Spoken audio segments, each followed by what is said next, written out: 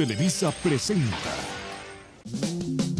Cuéntame cómo está eso que el amor solo te ha hecho sufrir, que te has partido el corazón solo por verla feliz y estás cansado de rogarle una vez más.